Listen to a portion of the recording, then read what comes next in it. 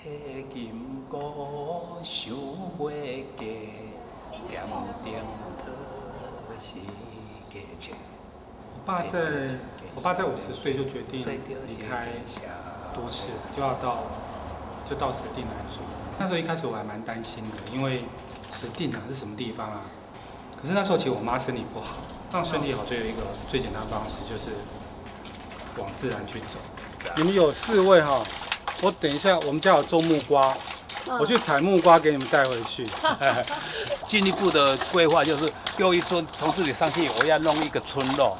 所谓村落就是我要塑造一些小小的三合院的那里点缀，那里点缀，养一些什么一鸡呀、鸭呀，然后转一个弯又一村，就是又一个另外一个村落。我爸都不知道他已经七十岁了，又一村又二村，好害怕。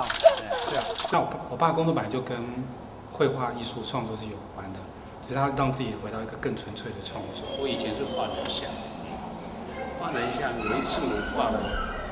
画一幅油画，认为很满意，我就在旁边把它落款，所谓的落款写我的名字。他说：“你又不是大画家，留那个名字干嘛？”然后我就把它涂掉。那时候我就画一个心念：我当画匠没要紧，我希望我两位儿子以后是画家。所以对我父亲而言，他的失落感我可以理解。大儿子希望他走绘画这条路也没走。二儿子给他一张屁股的照片，就转向了建筑这一块，所以我爸现在把所有的希望放在我女儿身上。猪，猪，猪，找人干，给找人干，哪里还有鸡？啊，鸡仔。妈妈。不是。牛。对，牛，牛。牛，啊，这个谁？公。阿公哦，不是，